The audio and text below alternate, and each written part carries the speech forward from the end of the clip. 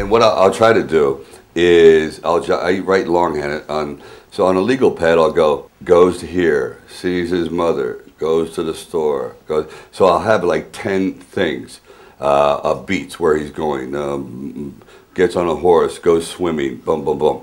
And I do that and I know in my heart 80% of it will be no good but you're getting through the screenplay you're getting it done because the rewrite is always more fun and much more enjoyable it's I don't believe people should look for perfection or even 50% perfection in the first draft. It's always going to be kind of this like a child scribbling, but you did it. And the main thing for me is to once you have that accomplishment, let's say in two, you could do it in two weeks, three weeks. Again, maybe 10% will be good, but you've now have this sense of accomplishment. You did it, and the rewriting process starts, and that's when the fun begins.